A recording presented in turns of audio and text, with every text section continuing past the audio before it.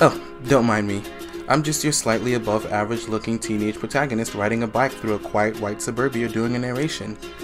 That is, until I saw her. Lily Sullivan, the girl of my dreams. And even though I knew nothing of her personality, interests, or literally anything about her, I knew from the moment I saw her, she was the love of my life. Let's just hope she didn't see me.